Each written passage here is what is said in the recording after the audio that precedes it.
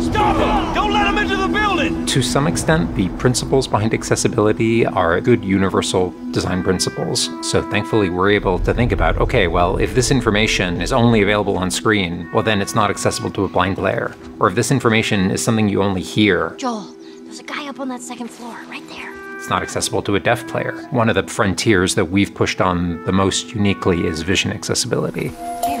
We have navigation assistance, we have this enhanced listen mode that lets you scan for enemies, and that suite of features enables the gameplay to be played by players who are blind and have low vision. I think that's something quite remarkable in the video game space. There's not a lot of games I've seen do that, and the feedback we've gotten on that has been incredible.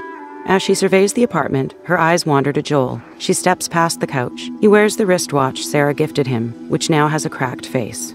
All sorts of people in the past wanted to play our games and just couldn't. They just had some limitation that didn't allow them to play our games. So it's really exciting that people that have all sorts of limitations can now jump into part one and again seamlessly transition into part two because they share those same award winning accessibility features.